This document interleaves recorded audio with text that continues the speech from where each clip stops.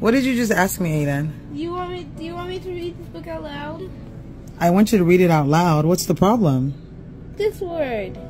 What's wrong with the word? You said you didn't like it.